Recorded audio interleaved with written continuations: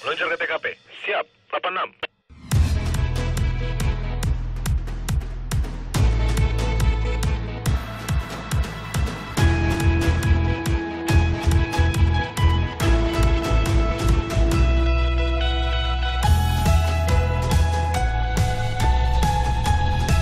Pada siang hari ini kita akan melaksanakan patroli hunting dari Serikandi Polres Palangkaraya untuk memantau arus lalu lintas dan juga melakukan penertiban bagi pengendara-pengendara yang tidak mematuhi peraturan lalu lintas dan terutama untuk tidak menggunakan helm.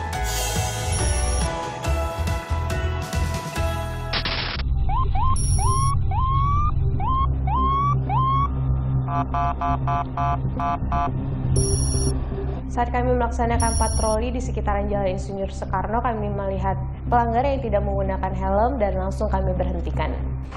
Selamat siang, Bapak. Selamat siang, Bapak. Untuk perjalanannya bisa Iya. ke mobil sebentar? Bisa. Bapak ini dari mana? Dari mana Dari mau ke mana? aja, Mau beli roll. Dari roll di mana? Itu di situ dekat aja. Kenapa nggak pakai helm? Iya, makanya lupa tadi. Biasanya pakai helm atau enggak? Pakai helm. Ini lagi kebetulan nggak pakai helm. Iya, bener. Terus kebetulan juga ketemu sama kamu. pas kebetulan ketemu. Bapak lihat nggak itu kendaraannya besar-besar semua yang melintas di Iya. sini, ya kan? Kondisi jalanan tersebut karena cukup ramai lalu lintas dan juga banyak sekali mobil-mobil besar dengan kecepatan tinggi. Itu sangat membahayakan Bapak itu sendiri, apalagi Bapak itu tidak menggunakan helm. Bapak kerja apa? Kerja ngecat bangunan. Surat-suratnya bawa? Enggak di sana, Di mana juga? di rumah. Di rumah. Iya. Ya ini mati semua kok Bu. Mati semua. Itu spionnya cuma satu lagi. Iya. Motornya cuma ini aja buat kerja kok. SIM ada? SIM ada, Apa? SIM C. Masih aktif? Kurang dua hari lagi. Tapi nggak bawa? Ah, dia di rumah. Anu kata aja situ kan. Mendengar penjelasan Bapak tersebut, saya menjadi curiga bahwa motor ini adalah motor curian ataupun motor bodong. Berarti kami tilang, Pak ya? Kami tilang aja ya. Kami ambil. Oh gitu. Ada Bapak Ya, kan nggak bawa nggak bawa surat? SIM, nggak bawa STNK juga.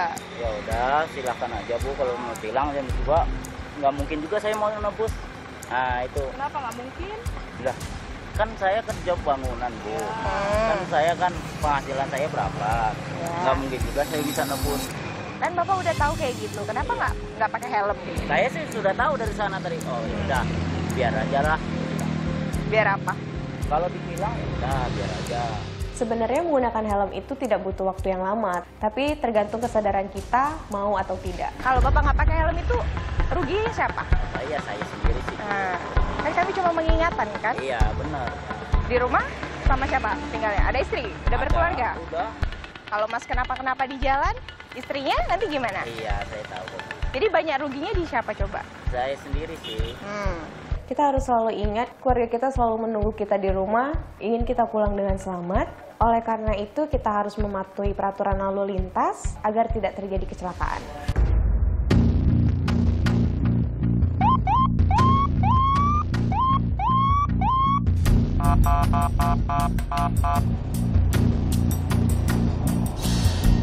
Di sekitaran Jalan Insinyur Soekarno, kami kaget melihat penumpang-penumpang yang diangkut menggunakan bak terbuka.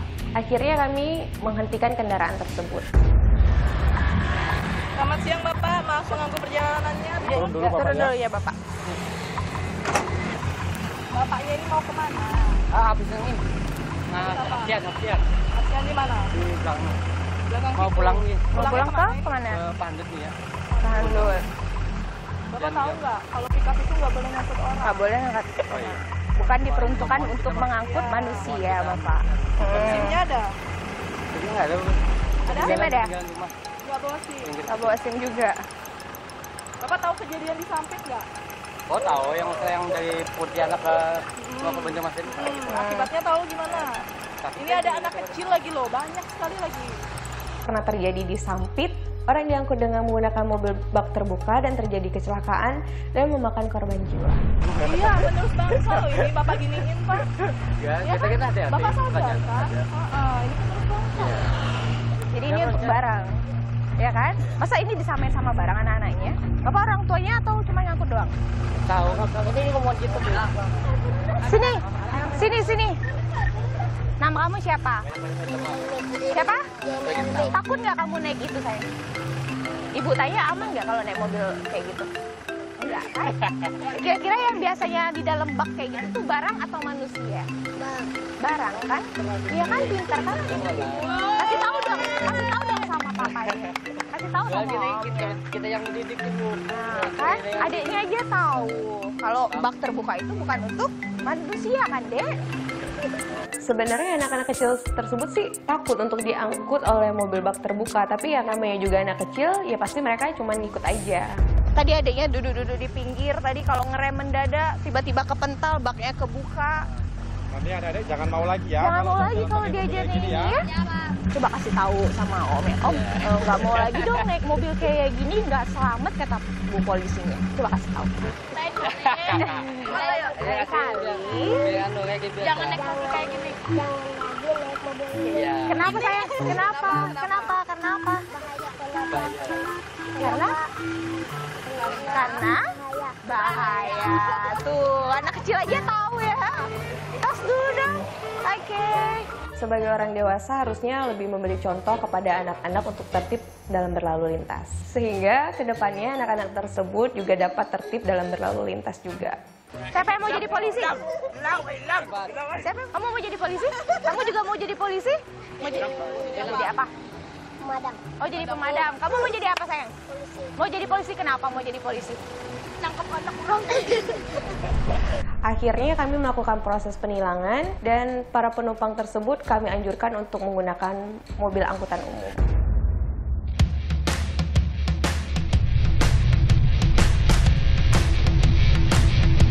Pos Bundaran Besar Patroli Serikandi Polwan. Aduh, aduh. Oh, patroli terjadi bongkar. Selamat sore Bapak, mohon izin melaporkan patroli Serikandi Polwan telah melaksanakan patroli di sekitaran wilayah hukum Polres Palangkaraya. Karena menjalankan tugas di Palangkaraya dan sedangkan orang tua saya di Palembang, sebagai pengobat rindu saya biasanya menyempatkan waktu untuk menelpon keluarga saya. Halo, Assalamualaikum Ma. Salam. Apa kabar, Kak? Baik, Mama gimana kabarnya? Baik, sehat. Adik-adik, Sehat. Mama, Ya, kemungkinan nanti kakak lebaran nggak bisa pulang. Aduh, habis pulsa. habis pulsa. Mama telepon kakak balik dong. Mama telepon balik Iya, ya. iya, iya. Mama, Apa? nanti mungkin kemungkinan eh, kayak tahun kemarin sih kakak pasti nggak pulang lebarannya. Nggak, makan ketupat dong. Biasanya sih yang paling saya rinduin dari mama saya itu masakannya. Nanti siapa tahu mama yang ke sana ya. Tapi kalau mama ke sini juga kakak pasti ngepam. Ya sudah nggak apa-apa lah. Demi tugas. Siap. Walaupun jauh dari orang tua dan keluarga, saya tidak pernah menyesal karena berprofesi sebagai seorang polwan. Dan keluarga saya juga selalu mendukung pekerjaan saya, apalagi mama. Kali selama tiga tahun jadi polisi tiga kali nggak pulang juga. Gimana? Ya gimana ya kalau ngeliat orang lain kumpul sama keluarganya itu seneng. Tapi pas itu pasti keinget keluarga juga kan. Aduh saya sendiri nggak kumpul sama keluarga kayak gitu. Tapi ya namanya juga tugas jadi ya emang harus kayak gitu ya. Emang udah jadi tugas jadi nggak apa-apa.